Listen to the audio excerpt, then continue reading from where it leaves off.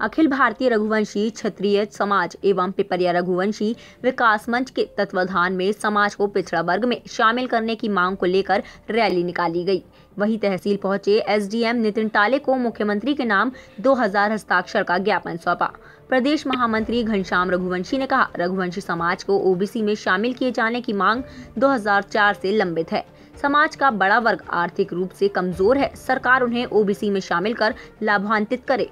ताकि समाज का समग्र विकास हो सके। उन्होंने कहा, सत्रह जिलों में ज्ञापन के माध्यम से शासन प्रशासन तक अपनी बात पहुंचाई गई है।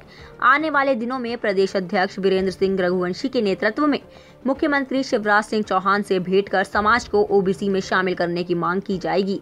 इस मौके पर माधव सिंह रघुवंशी, जिलाध्यक्ष प्रशांत रघुवंशी, युवा जिलाध्यक्ष राधेलाल रघुवंशी, अध्यक्ष सुरेंद्र रघुवंशी, योगेंद्र सिंह लखन सिंह रघुवंशी, शंकर लाल रघुवंशी सुरेश रघुवंशी, कोमल सिंह रघुवंशी, प्रदेश पदाधिकारी एवं सदस्य उपस्थित रहे। टाइम एट मध्य प्रदेश के लिए पिपरिया से शकील न्याजी की रिपोर्ट।